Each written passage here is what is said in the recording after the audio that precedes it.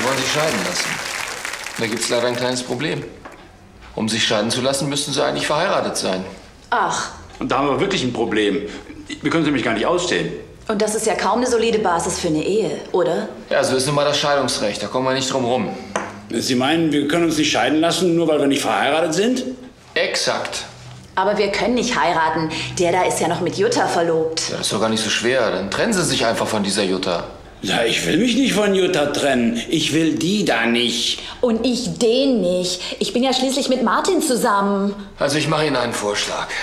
Sie gehen einfach getrennter Wege. Wie stellen Sie sich das denn vor, einfach getrennter Wege zu gehen, nach all den Jahren? Schon wegen der Kinder nicht. Ja, aber wenn Sie nicht verheiratet sind, kann ich nichts für Sie tun. Tut mir leid.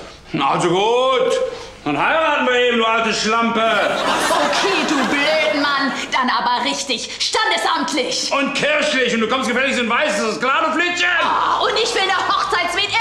Luxushotel. Das ist schließlich der schönste Tag in unserem beschissenen Leben. Und ich könnte Ihnen einen Ehevertrag aufsetzen. Sind Sie bescheuert oder was? Wenn man sich liebt, dann kommt das sowas überhaupt nicht in Frage.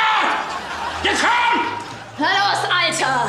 Noch einmal und du bist tot! Ach, Luftpumpe. Was?